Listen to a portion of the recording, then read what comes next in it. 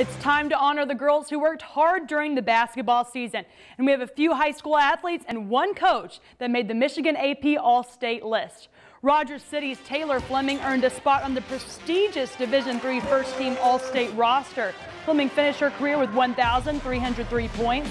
And as a senior, she averaged an impressive double-double, 19.8 points and 18.7 rebounds per game. Oscoda's Lauren Langley and Katelyn Etherton, along with Johannesburg Lewis and Sydney Townsend, earned honorable mention recognition. Etherton reached 1,000 career points, and as a senior, put up 385 points, 115 rebounds, 92 assists, and 67 steals.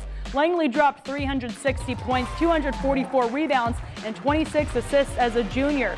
Owls head coach Mark Toppi received honorable mention All-State honors. The fourth-year Oscoda coach led the squad to their first undefeated regular season and district title.